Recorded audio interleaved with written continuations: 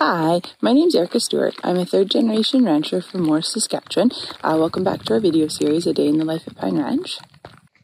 So today we are out gathering the mature cows and their calves and we are bringing them in to sort them um, into their breeding fields because we'll be turning the bulls out in a few days. Here's the field we're gathering this morning.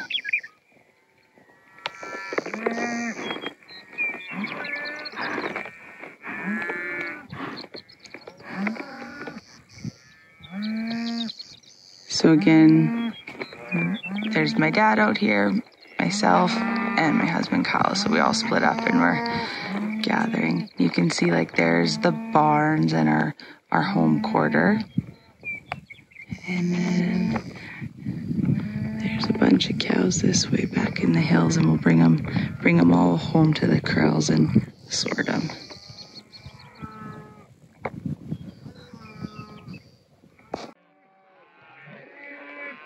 So we've all met up now.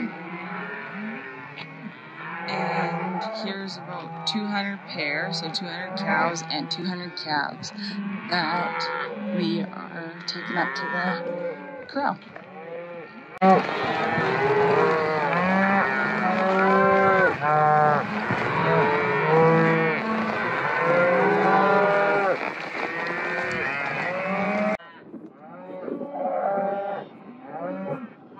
So here's our first breeding group.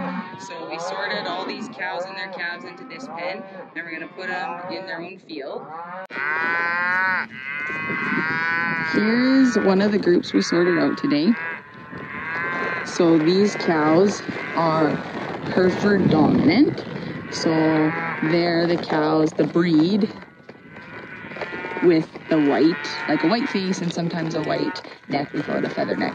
So our goal is to breed them red Angus and get a red neck or red brockle face calf. So there's 56 in this group, and when we turn the bulls out, um, we will turn all red Angus bulls in with them. So this calf is an example of a red brockle face calf. So that is what we're trying to achieve on our ranch by having different breeding fields. So this is the field that we sorted the other day and we sorted Angus dominant cows in this field so then they'll be bred by Hereford bulls and the goal is to get a calf like that with a red brockle face or a red neck. And a red neck would kind of be like that cow walking right there. So we're trying to make a cross that the feedlots want, but then in the same breath, we also are wanting a cross that we want um, that maternal cross for those replacement heifers that we keep. So as you can tell, we still have some blacks in here. We still have one black bull, but with doing these breeding fields, that's what we're we're working towards the goal of an all red herd with a red neck or red brockle face calves. So there's another great example of a red brockle face calf, and that is our goal with these breeding fields to get majority of our calves looking like that. And then that other calf too, that red neck calf that just looked at us.